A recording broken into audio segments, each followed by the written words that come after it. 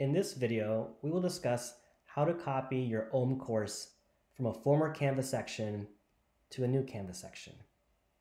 First, start in your former Canvas section and click on one of the assignments. Click on LTI Home and make note of the course ID. This course ID is 52929.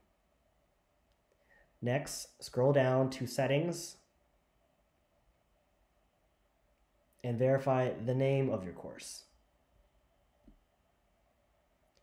Now, move to your current Canvas section. Now that you're in your current Canvas section, make note of the items that are currently in your course. If you have materials that are in your assignments, discussions, columns that are in the gradebook, please make note of this. Next, scroll down to Settings. On the right hand side of your screen, click on Import Course Content. Click on the drop down, select Copy a Canvas course, type in the name of your course.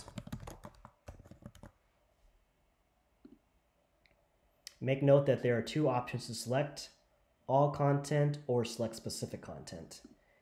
If you click select specific content, when you click import, there'll be a button here that says select content where you can select the row headers where you decide what you'd like to pull in.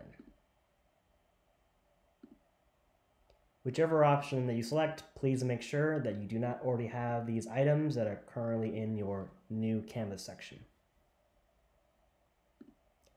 However, if given the choice and you have a blank new Canvas section, click on the drop down, click copy a Canvas course, type in the name of the course, click on all content and import.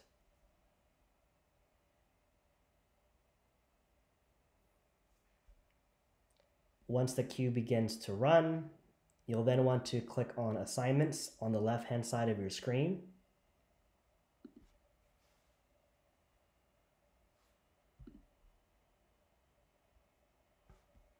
Click on an assignment in the course.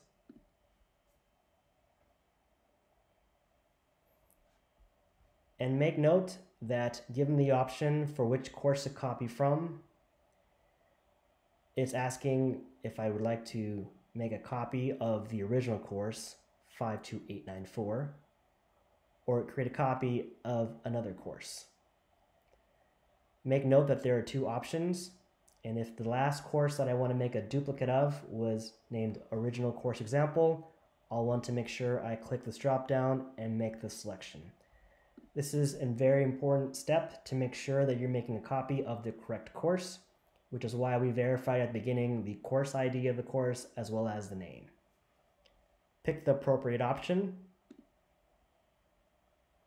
and click create a copy on Lumen. Once you're done, click LTI home to verify your new course ID.